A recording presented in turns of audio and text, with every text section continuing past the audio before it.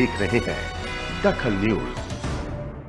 Headlines के प्रायोजक हैं एलआईसी ऑफ़ इंडिया, ज़िंदगी के साथ भी, ज़िंदगी के बाद भी।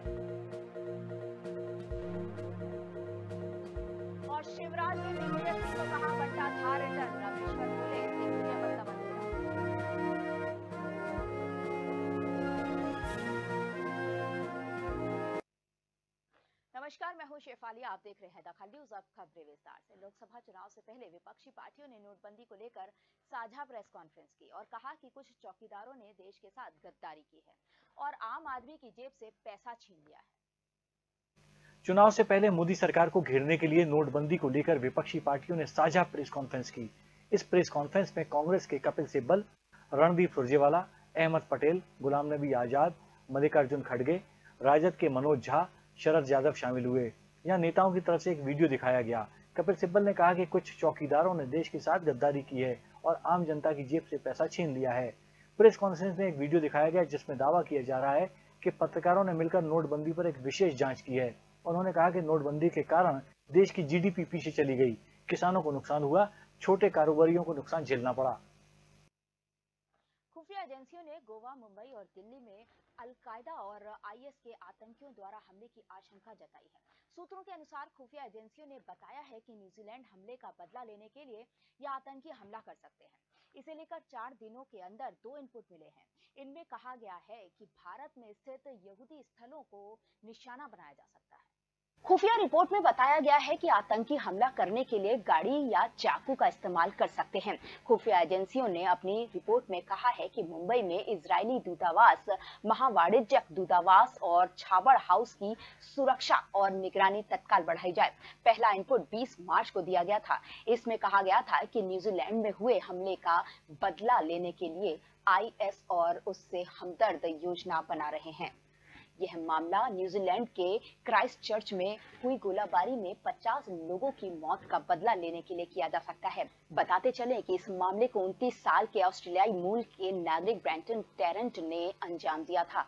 उसे बाद में गिरफ़्तार कर लिया गया था। खुफिया एजेंसियों को कई सूत्रों से ऐसे हमले का इनपुट मिल रहा है, जिसके बाद सुरक्षा बढ़ाने की सिफारिश की गई है। छत्तीसगढ़ में कांग्रेस के स्टार प्रचारकों की सूची से पंजाब के मंत्री व क्रिकेटर नवजोत सिंह सिद्धू का नाम हटा दिया गया है। कांग्रेस को लगता है कि सिद्धू प्रचार करने आएँगे तो कांग्रेस को इसका खामियाजा भुगतना पड़ेगा। अब कांग्रेस में भी नवजोत सिंह सिद्धू की मट्टी पलीज शुरू हो गई है। छत्तीसगढ़ कांग्रेस ने स्टार प्रचारकों की सूची में सिद्धू का नाम हटा दिया है।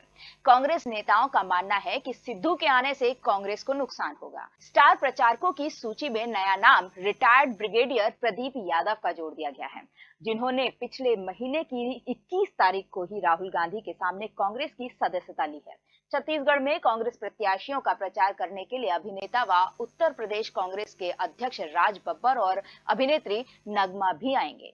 हाईकमान ने छत्तीसगढ़ के नेताओं को भी स्टार प्रचारक घोषित किया है।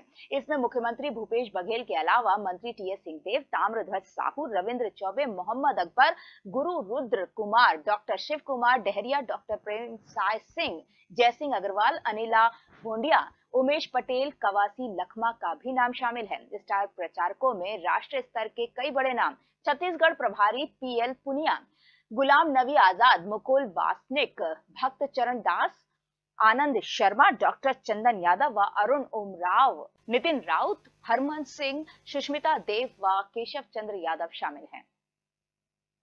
कोबरा बटालियन ने मंगलवार सुबह सुकमा ज़िले के बीमापुरम इलाके में नक्सली कैंप पर हमला किया। इस हमले के बाद चार नक्सलियों के शव बरामद किए गए। मौके से एक इंसास राइफल, दो तीन सौ तीन राइफल सहित बड़ी संख्या में नक्सलियों का सामान बरामद किया गया। यह इलाका सुकमा और बीजापुर ज़िले की सीमा पर है। इस मुठभेड़ के बारे में एसपी नक्सल शलभ सिन्हा ने चार नक्सलियों के शव मिलने की पुष्टि की है। इनमें दो महिला और दो पुरुष नक्सली हैं। सुरक्षा बलों को जानकारी मिली थी कि इलाके में नक्सलियों ने अपना डेरा जमा रखा है, जिसके बाद यहाँ कोबरा बटालियन की टीम को रवाना किया गया। इन्होंने इलाके को घेर कर फायरिंग की, जिसके बाद नक्सली घबरा कर फायरिंग करते हुए जंगल की ओर भागने लगे। इसके बाद इस इलाके की सर्चिंग शुरू की गई तो वहाँ चार नक्सलियों के शव और हथियार मिले।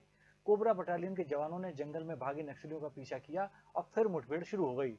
मुठभेड़ में नक्सलियों को मार गिराने वाले जवानों ने रात भर पैदल चलकर 22 किलोमीटर का सफ़र तय किया और फिर ऑपरेशन को अंजाम दिया। समय ब्रेक का है। ब्रेक के बाद जल्द हाजिर होंगे। आप देखते रहिए दखल न्यूज़।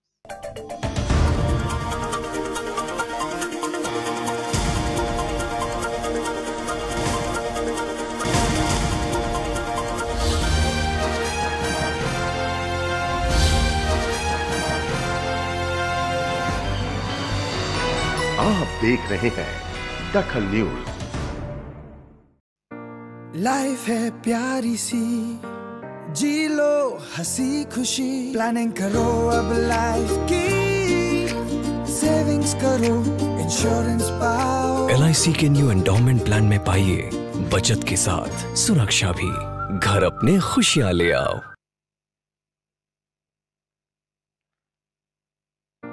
लाइफ है प्यारी सी जी लो, हँसी खुशी। प्लानिंग करो अब लाइफ की। सेविंग्स करो इंश्योरेंस पाओ। LIC के न्यू एंडोमेंट प्लान में पाइए बचत के साथ, सुरक्षा भी। घर अपने खुशियाँ ले आओ।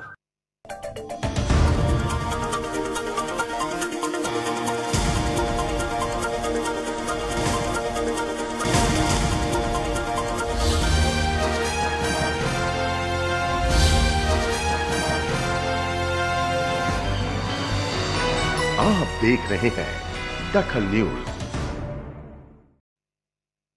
भोपाल से कांग्रेस ने लोकसभा के लिए पूर्व मुख्यमंत्री दिग्विजय सिंह को टिकट क्या दिया? सभी ने उन पर शब्दों के तीर चलाने शुरू कर दिए। कोई उनको बंटाधार रिटर्न कह रहा है तो कोई कहता है कि पहले दिग्विजय ने कमल के मज़े लिए, अब कमल दिग्विजय के मज़े ले रहे हैं। हाल ही में पूर्व मुख्यमंत्री शिवराज सिंह ने दिग्विजय के सामने चुनाव लड़ने की बात को लेकर दिग्विजय को बंटाधार रिटर्न कहा और चुनाव में उनको चुनौती मानने से ही इनकार कर दिया था। अब ये तो वो जाने कब किया, कैसे किया, क्यों किया। लेकिन भारतीय जनता पार्टी केवल भोपाल नहीं, उनतीस सीटें जीतने के लिए चुनाव लड़ेगी। भोपाल सहित सारी सीटें हम जीते बंटाढार रिटर्न है। तो शिवराज सिंह चौहान भारतीय जनता पार्टी के सामने आज कोई चुनौती नहीं है। भारतीय जनता पार्टी गंभीरता से चुनाव लड़ेगी। और हम पूरे विश्वास के साथ कहते हैं कि भोपाल में जीतेंगे वहीं बीजेपी के उपाध्यक्ष और विधायक रामेश्वर शर्मा भी नहीं चूक रहे। कहते हैं कि 2003 में अंधेरे में मध्य प्रदेश का कारण दिग्विजय सिंह थे। मजदूरों की मौत का कारण दिग्विजय सिंह थे। शिक्षित बेरोजगारों का और खराब सड़कों का कारण दिग्विजय सिंह ही थे। अब तो कमलनाथ ने कमल की चाल चलकर दिग्विजय को बता दिया कि राजा सबके मज़े लेते थे। अब थोड़ा उसके मज़े ले लें। देखा जाए। तो सर्वदा दिग्विजय सिंह ठीक है, पर सर्वनाथ दिग्विजय सिंह भी मध्य प्रदेश के हालात में कहा जा सकता है। क्योंकि 2003 का जिनने मध्य प्रदेश देखा है, अंधेरे में जो मध्य प्रदेश था, वो उसके नेतृत्वकर्ता दिग्विजय सिंह जी थे। बिना सड़क का जो मध्य प्रदेश था, उसका नेतृत्व करते हुए दिग्विजय सिंह थे। शिक्षित बेरोजगारों के आत्महत्या के कारण दिग्विजय सिंह थे। दैनिक वेतन भोगियों को नौकरी से निकालने का कारण दिग्विजय सिंह थे। मजदूर के मौत के कारण दिग्विजय सिंह थे, वन उद्योग के कारण दिग्विजय सिंह थे और बंटा ढार भी दिग्विजय सिंह थे। तो वो कौन से सर्वत्र हैं और कौन से सर्वदा हैं? और मध्य प्रदेश को पूरा याद है कि दिग्विजय सिंह ये वही है। और इसलिए कमलनाथ जी ने प्यार से कहा, राजा, तुमने सबके अभी तक मज़े लिए हैं, थोड़ा हमको भी ले लेने दो।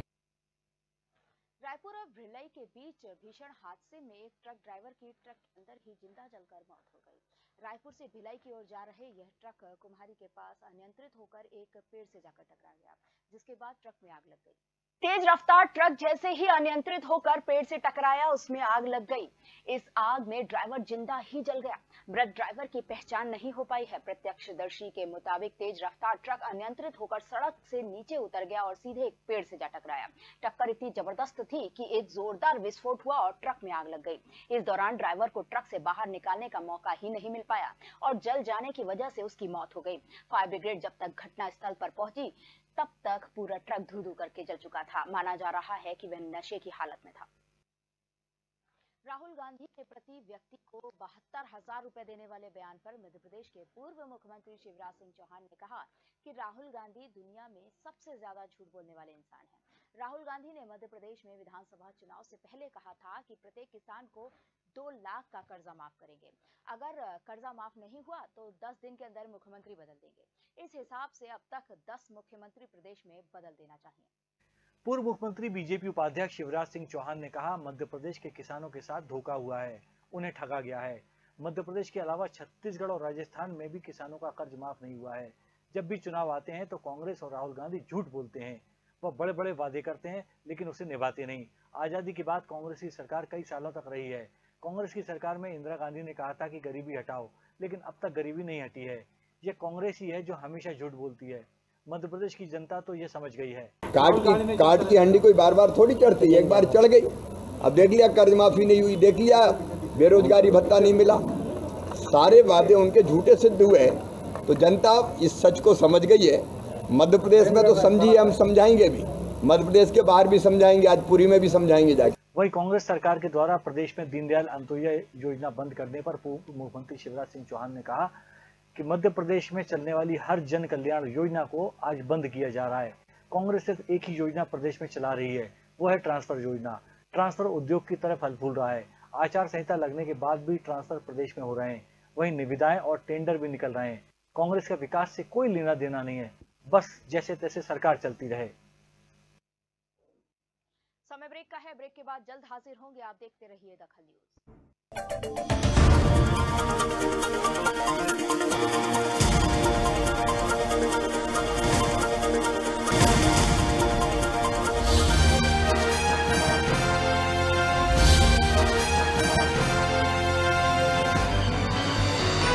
आप देख रहे हैं दखल न्यूज़।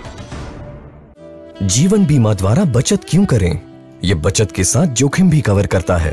ये कंपलसरी और सिस्टमैटिक सेविंग्स के साथ बचत प्रदान करता है। ये कर्ज वगैरह के रूप में लिक्विडिटी देता है। इन्हें कोलैटरल सिक्योरिटी के रूप में भी स्वीकार किया जाता है। लागू नियम अनुसार टैक्स कंसेशन भी मिलता है। और पात्रता के आधार पर पाए बोनस के रूप में लाभ। भविष्य में अगर कोई ज़रूरत पड़ जाए तो आप पर है हमारी सुरक्षा की छाया। LIC हर पल आपके साथ ब्रेक के बाद आपका स्वागत है हेमा मालिनी ने मथुरा से अपना नामांकन दाखिल किया और कहा कि हम बहुत गंभीरता से चुनाव लड़ रहे हैं। अब तक जो कुछ किया है, उनके नाम पर हम वोट मांगेंगे। उत्तर प्रदेश के मुख्यमंत्री योगी आदित्यनाथ ने भी हेमा मालिनी के समर्थन में एक सभा को संबोधित किया।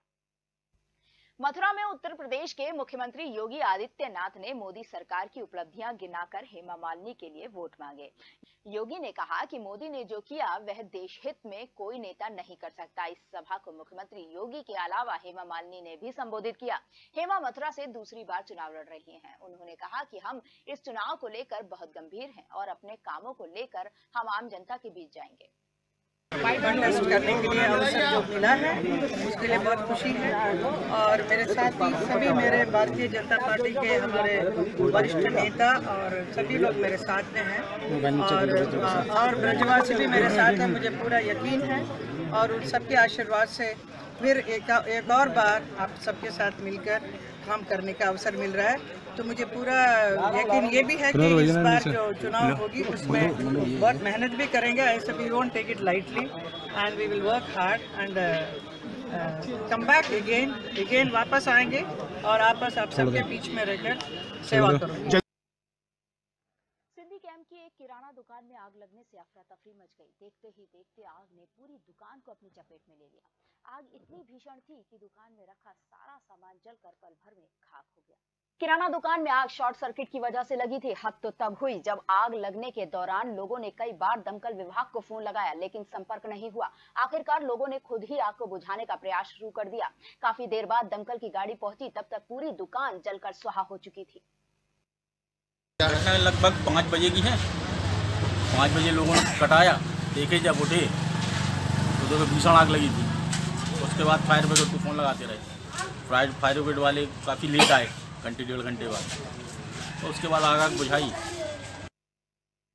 मुख्यमंत्री भूपेश बघेल और पूर्व मुख्यमंत्री रमन सिंह अपने अपने प्रत्याशियों का नामांकन दाखिल करवाने जगदलपुर पहुँचे।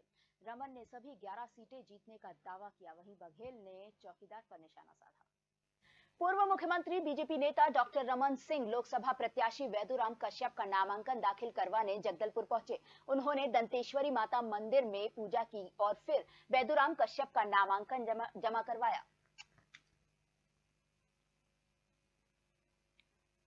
उन्होंने दंतेश्वरी माता मंदिर में पूजा की और फिर बैदू राम कश्यप का नामांकन जमा करवाया। इस मौके पर रमन सिंह ने कहा, मोदी के नाम और काम पर जनता वोट करेगी और छत्तीसगढ़ की सभी 11 सीटें बीजेपी जीतेगी।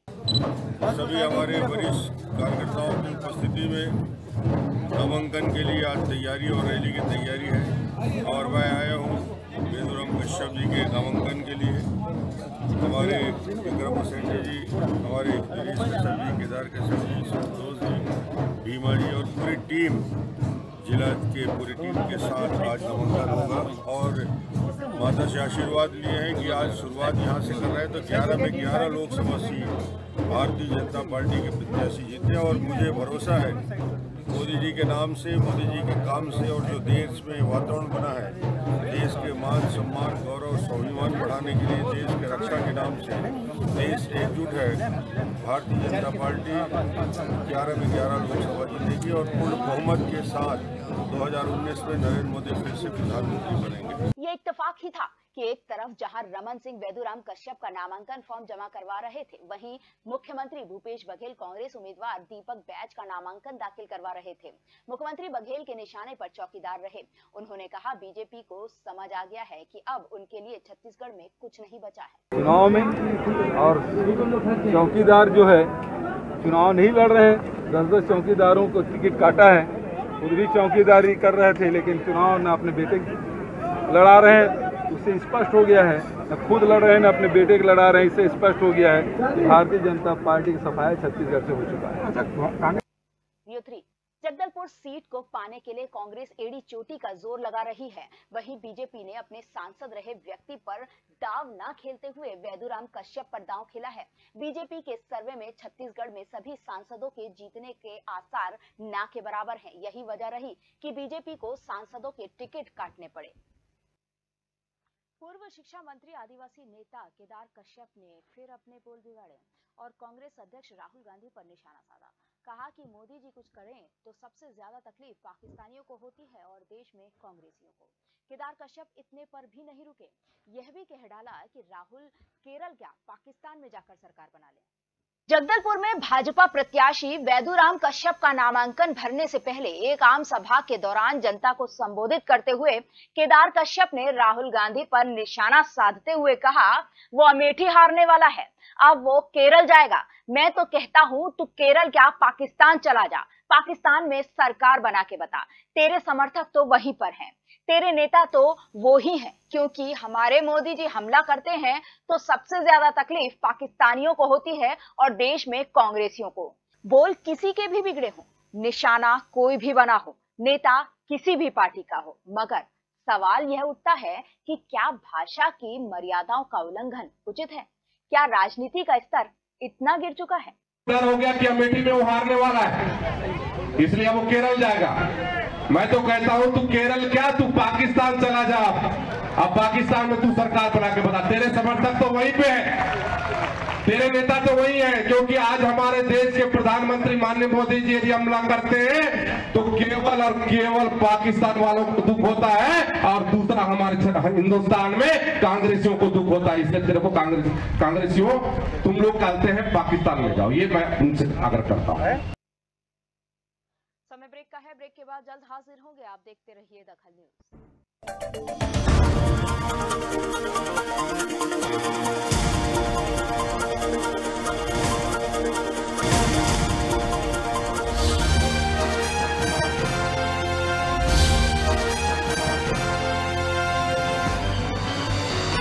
आप देख रहे हैं दखल न्यूज़।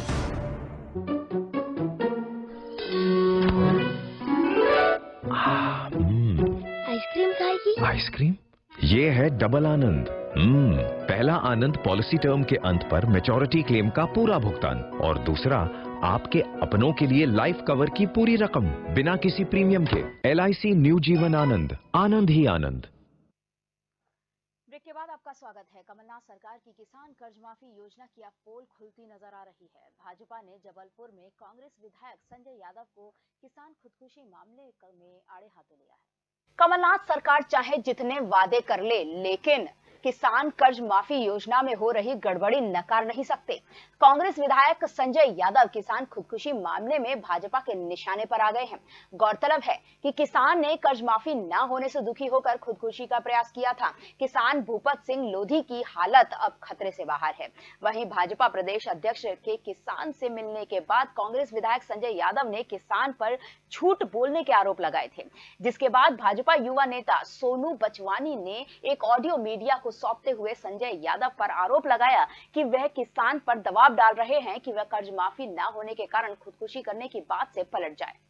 आपका जो भी कर्ज है वो अलग है है ना? जो खेती का कर्ज है वो भी लोकसभा चुनाव के बाद आपका जो खेती का कर्ज बात को समझ केवल जो भी आपका खेती का कर्ज होगा लोकसभा के चुनाव के बाद आपका वो माफ़ किया जाएगा। आप भैया मैं तो आप खुद समझें कि मतलब मैंने विधायक जी के विरोध में किसी के विरोध में कोई बात कही ही नहीं है। मैंने सिर्फ़ अपनी बात रखी है कर्जे से परेशान थे इसलिए ये हादसा हुआ है उस पर मैं सहमत रहूँगा कि विधायक जी ने बात बोली है हमारी मदद कर रहे हैं हमारे साथ हैं ये तो मैं बोलूँगा। लेकिन आपको बयान भी तो आपको चेंज करना पड़ेगा जब तक मैं आप बयान चेंज करने वाली तो कोई बात ही नहीं है ना फिर भी आप, आप तो गलत है। आप चारे एक साथ खाएँ नहीं नहीं बिल्कुल नहीं वो बात नहीं है भैया वो तो आप समझ रहे हैं आप बड़े हैं है, आप देख लो आप देख लो जैसा आपको उचित लगे आप भी भाई उसमें आप कुछ कर रहे हो तो फिर मैं आगे देखो हर चीज़ में मैं आपके साथ खड़ा हूँ। भैया, मेरी तो बस आपसे एक ही request है मैं अस्पताल से लेकर आपका जो भी कर्ज है किस खेती का मैं उसको नील करवाऊँगा लोकसभा चुनाव के बाद। ये तो अभी नील हो जाएगा आपका। मेरे पास एक मैसेज आया था मोबाइल में कि आचार संहिता के चलते आपके जो कर्ज माफ़ होने वाले थे वो अभी आपके कर्ज माफ़ नहीं हुए हैं। पिताजी ने मुझसे इस बारे में पूछा था कि क्या कोई मैसेज आया था तो मैंने बोला कि हाँ एक मैसेज आया था जिसमें लिखा था कि अभी आपका कर्ज जो है वो माफ़ नहीं हुआ है। ओला पानी के कारण जो मेरी फ़सल थी, उसको भी बहुत नुकसान पहुँचा था। उस दिन वो खेत गए थे, उन्होंने खेत देखा। वहाँ से वापस आने के बाद उन्होंने बर्फ़ी में जो था पॉइजन ले लिया था। भाजपा नेता सोनू बचवानी का कहना है कि किसान भूपत पटेल की चने की फ़सल खराब हो गई थी, जिससे वह परेशान था। उसका नाम कांग्रेस सरकार द्वारा की जा रही कर्ज माफ़ी की सूची में था, लेकिन जब उसके मोबाइल पर मैसेज आया कि आचार संहिता लगने के कारण उसका दो लाख का कर्ज माफ़ नहीं हो पाएगा तो वह परेशान हो गया और इसी तनाव के चलते आत्मघाती कदम उठाया। कांग्रेस सरकार के झूठे वादों से किसान दुखी है। इसके बाद प्रदेश अध्यक्ष राकेश सिंह ने उससे मिलकर मदद का आश्वासन दिया। मध्य प्रदेश की पूरी सरकार नशे में खुद है और किसान को बताती है कि वो नशे में है। नशे में था, तभी उसने जो है जहर पिया। लेकिन आपने देखा कि उनने बताया कि उनके पिताजी ने कोई नशा नहीं किया हुआ था। जो उनके यहाँ फ़सल जो है, फ़सल जो उगी थी, चने की, वो चने की फ़सल पूरी बर्बाद हो गई। उस बर्बादी की वजह से जो है किसान बहुत हताश थे। उन्होंने आत्महत्या करने का प्रयास किया। भगवान की कृपा से वो बच गए। लेकिन इसके बाद भी कांग्रेस के लोग जो है, इनको धमकी दे रहे थे कि आप अपने बयान चेंज करो, आप ये करो। हमारे सांसद जी ने तो मानवीय दृष्टिकोण से जाके जो है किसान का हालचाल पता किया था, लेकिन कांग्रेस की सरकार ने और कांग्रेस के विधायक जी ने जो कृत्य किया, मुझे लगता है बहुत अशोभनीय है। कांग्रेस के बरगी विधायक संजय यादव ने सरकार के झूठ पर पर्दा डालने के लिए किसान पर आरोप लगा दिया कि उसके परिवार में विवाद और नशे में खुदकुशी करने का प्रयास किया गया। जबकि यह सरासर झूठ था। किसान के बेटे ने भी कांग्रेस विधायक पर बयान बदलने के लिए दबाव डालने के आरोप लगाए। उससे एक ऑडियो क्लिप मीडिया को दी और जिसमें विधायक संजय यादव का गुर्रा उस पर बयान बदलने का दबाव डाल रहा है। बयान बदलने के बाद विधायक द्वारा किसान के इलाज का खर्च उठाने की बात भी की जा रही थी। रंगपंचमी पर रंगों से सराबोर चार युवाओं को चीलर डैम में नहाना महँगा पड़ गया। तीन युवाओं की डूबने से मौत हो गई। चौथे की जान बमुश्किल बच पाई। रंग पंचमी के बाद चार दोस्त बाँध में नहाने गए थे। नहाते नहाते सभी दोस्त गहरे पानी में चले गए और डूबने लगे। जब तक कोई कुछ समझ पाता, तब तक बहुत देर हो चुकी थी। तीन की मौत हो गई। उनका चौथा साथी यशराज लिखित बच गया। मरने वाले युवकों की उम्र 25 साल बताई जा रही है। मृतकों की शिनाख्त साजापुर निवासी गौरव गोबुज, दीपक जाधव और सावन बैरागी के रूप में हुई। हादसे की खबर लगते ही पुलिस और स्थानीय लोग मौके पर पहुँचे। गोताखोरों ने बाँध में उतरकर युवकों की तलाश शुरू की। काफ़ी मशक्कत के बाद गोताखोरों की मदद से बाकी तीनों युवकों के शव बाहर निकाले गए। इस दर्दनाक हादसे में अपने तीन दोस्तों को खोने के बाद से ही यशराज का बुरा हाल है। वो सुध बुद्ध गवा बैठा है और रोने के सिवाय कुछ भी नहीं बता पा रहा। शराब के कारोबार की शिकायत लगातार आबकारी विभाग को मिल रही थी। राजनगर के ललपुर गाँव में यह अवैध कारोबार लगातार बढ़ रहा था, जिसकी जानकारी लगते ही आबकारी विभाग ने देशी शराब बनाने वाली अवैध फैक्ट्री पर छापा मार कर कार्रवाई की। आपको बता दें कि आबकारी विभाग ने काफ़ी मात्रा में शराब और शराब बनाने में इस्तेमाल होने वाला सामान बरामद किया। आबकारी विभाग का छापा पड़ते ही अवैध शराब के कारोबार में लिप्त सभी आरोपी फरार हो गए। इस छापामार कार्यवाही को आबकारी अधिकारी शैलेश जैन व उनकी टीम ने अंजाम दिया। मुखबिर के द्वारा सूचना प्राप्त हुई थी कि खजुराहो सर्किल थाना राजनगर के अंतर्गत ललपुर के निकट रिलायंस के जियो टावर के प्रॉपर्टी में बड़ी मात्रा में शराब की जानकारी मिली। पूरी टीम लेके रवाना हुए। वीडियोग्राफी कराई गई। वीडियोग्राफी के उपरांत एक कुप्पी, एक टावर के नीचे एक कंपार्टमेंट में एक कुप्पी मिली, जिसमें लगभग पैंसठ लीटर ओपी मदरा ओपी मदरा प्राप्त हुई। लगभग नब्बे पाव भरे हुए थे। लगभग सत्तर हमें खाली पाव मिले, डेढ़ सौ ढक्कन मिले, तीन चार खाली ड्रम मिले, जिनमें मिल्क की टोंटियाँ लगी हुई हैं। इसमें आरोपी कोई नहीं मिला, क्योंकि प्रॉपर्टी में ताला लगा हुआ था। और इसकी विवेचना जारी है। इस संबंध में प्रॉपर्टी के स्वामी और प्रॉपर्टी के आसपास के लोगों से लगातार पूछताछ की जाएगी और आरोपियों की छानबीन की जाएगी। राजनांदगांव लोकसभा सीट से कांग्रेस प्रत्याशी भोलाराम साहू ने अपने दलबल के साथ नामांकन दाखिल किया। नामांकन भरने के बाद भोलाराम ने सर्जिकल स्ट्राइक की जाँच करवाने की बात कही। राजनांदगांव लोकसभा से कांग्रेस प्रत्याशी बनाए जाने के बाद भोलाराम साहू ने अपना नामांकन दाखिल किया। नामांकन भरने के बाद कांग्रेस प्रत्याशी भोलाराम साहू ने कहा कि राष्ट्रीय मुद्दों के अलावा स्थानीय मुद्दों को लेकर वे जनता के बीच जाएँगे। उन्होंने सर्जिकल स्ट्राइक मामले की जाँच करवाए जाने की भी बात कही। देखिए, मैंने आज तो नामांकन भरा है। कार्यकर्ताओं में उत्साह है। मतदाता बहुत उत्साहित हैं। तो निश्चित रूप से हमारे लिए कोई चुनौती नहीं है। निश्चित रूप से हम जो है लोकसभा चुनाव जीत के जाएँगे, इसमें किसी प्रकार के संदेह नहीं है। देखिए, वो बहुत बड़ा मुद्दा है। और मुद्दा को निश्चित रूप से हम जो है सदन के माध्यम से उठा के उसको जो है उसमें गंभीरता से जाँच कराकर उसमें कार्रवाई करने का प्रयास करेंगे। इतना ही। आप देखते रहिए दखल न्यूज़। दखल आपके हक में। कहीं जाइएगा नहीं। जर्जर भोपाली सुनाएँगे आपको बहरन समाचार। नमस्कार भैरन समाचार में आपको वेलकम कर रहा हूँ। मैं हूँ जर्जर भोपाली। वो समाचार सुन लो। ये मुलायम सिंह जो है इनको स्टार प्रचारों की लिस्ट से ही है इनका नाम गायब कर दिया। बताओ कैसी दुर्दशा हो रही है इनकी। और इनकी आजमगढ़ सीट भी है ना छीन ली। वादे भी चुनाव पीएलए चुनाव जीते थे वादे है ना? तो ये, ये बेटे है ना कैसी इनके बाप की दुर्दशा कर रहा बता रहे हूँ। बहुत बुरा हाल हो रहा है। और मुलायम सिंह का कहना है ये बुआ के चक्कर में आ गया लड़का। बुआ जाना क्या क्या सिखा रही है? या घर में फ़ोटो डाल दिए बता रहे हूँ। समाजवादी पार्टी इन्होंने खड़ी करी थी इनकी। क्या साइकिल पंचर हो गई। साइकिल इन्हें जुड़ाने के लिए दी थी। अगले इसको वो लेके ही निकल लिए ये तो चल है। और दूसरी खबर ये सुन लो। सपना चौधरी कांग्रेस ही करेगा। हमारी पार्टी ज्वाइन कर ली कांग्रेस, सपना चौधरी ने। और वो दूसरे दिन वो कहने लगी कि हमने तो नहीं करी। और मैं बता रहा हूँ, ये डांस वांस करने वाला कोई चक्कर में है नहीं आ जाओगे। इनके लटके झटके समझ में नहीं आते, बता रहे हूँ। हाँ और कल ये दिल्ली में भैया मनोज तिवारी के साथ बेटी मिली। इनका फ़ोटो वहाँ छपा था अखबार में। अब इनको, कोई कह रहा है बीजेपी ज्वाइन करने वाली है। बता रहे हैं, इनके ये जो कमर के झटके वटके होते हैं, इनके चक्कर में मत पड़ो भैया। सीधी सीधी राजनीति करो, बता रही हूँ हाँ। और ये खबर ये है कि चुनाव में भैया छब्बीस लाख बोतल। अब तुम बोतल सुन के है ना, तुम्हारा दिमाग है ना, वहीं जाता है। बोतल।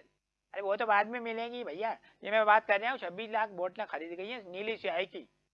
तो यहाँ पे लगाने पड़ती है ना। और नहीं लगाओ तो तुम दोबारा वोट डालने चले जाओगे, बता रहा हूँ। हाँ? लगाना पड़ती है, उसका खर्चा हो रहा है। चुनाव में खर्चा होता है भैया। और सियाही है केवल लिखने का काम नहीं आती। लगाने वगाने के भी काम आती है हाँ। कोई आडवाणी का टिकट कट गया, इस पर है ना चिल्पा मची है, कई लोगों को बहुत तकलीफ़ हो रही है। उनको कुछ नहीं हो रहा। उनका अभी तक कोई स्टेटमेंट वगैरह आया नहीं, बता रहे हो। अरे भैया, हो सकता है बुज़ुर्ग है, उन्होंने खुद ही मना कर दिया हो कि हमें नहीं लड़ना, चुनाव ना हो गया बहुत। क्या चुनाव लड़ने के बाद होता भी क्या है? बैठे रहो घर पे हाँ। उधर भैया दिग्विजय सिंह को भोपाल से टिकट दे दिए। वो ऐसे बोल रहा है, अब उनको लग रहा है कि उनको तो घबराहट हो रही है। और लेकिन दूसरे है ना, ये शिवराज सिंह चौहान कह रहे हैं, वो जो बंटा था रिटर्न अब मैं कह रहा हूँ रिटर्न तुम कह रहे हो कि रिटर्न आ गए। मतलब उनको कह रहे हो जीत जाओ क्या? अरे भाई ऐसी घबराहट है, अभी तक ये कैंडिडेट भी डिसाइड नहीं कर पाए। अब तो उमा भारती टक्कर देती है इनको पहले। इन्होंने हराया था इनको पूरे चुनाव में, बता रही हूँ। ये था तो चल गया है। और भैया मोदी सरकार ने ये किसानों को छह हज़ार दिए तो ये कांग्रेस के ये राहुल गांधी इन्होंने भी पकड़ लिया। ये कह रहे हैं जिनकी छह हज़ार तनख्वाह है उसमें वो छह हज़ार जोड़ के हम पूरे साल भर के बहत्तर हज़ार देंगे। भैया गरीबों को है ना लुटाएँगे गरीबों को काबिल नहीं बनाएँगे। ये तो चल गया है, है? और आईपीएल आईपीएल का युद्ध शुरू हो गया बता रहा हूँ। और ये हमारी इंटेलिजेंस की खबर आई है कि इससे है ना गृह युद्ध चल सकता है। पूछो गृह कैसे चलेगा आईपीएल से मैं बता रहा हूँ। क्या होता है कि जब आईपीएल के मैच आते हैं, उसी टाइम पे सास बहू के सीरियल भी चलते हैं। तो भैया, पति पत्नियों में यदि गृह युद्ध की संभावना छेगी टीवी फोड़ेंगे बता रहा हूँ। हाँ।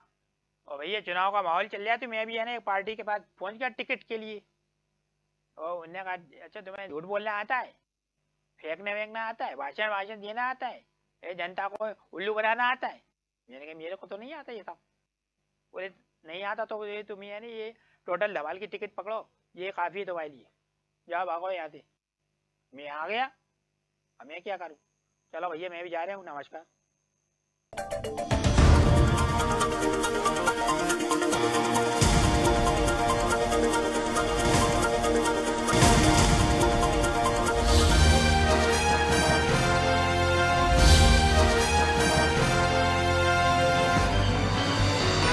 आप देख रहे हैं दखल न्यूज़